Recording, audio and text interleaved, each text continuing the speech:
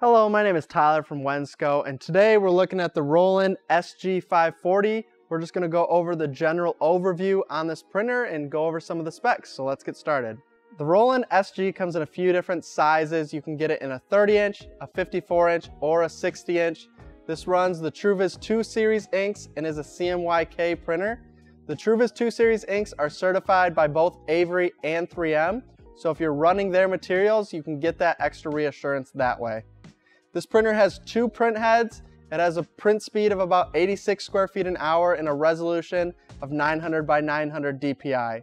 It does have a few available options on it, including the option to add a take-up reel if that's something you are interested in. If you're in the market for a new printer, the SG is one of the more affordable new printers that we have available due to the cost of the unit and the limited amount of ink cartridges that you have to use. If you have any more questions about this printer, you can contact us here at Wensco and we'd be glad to answer those for you.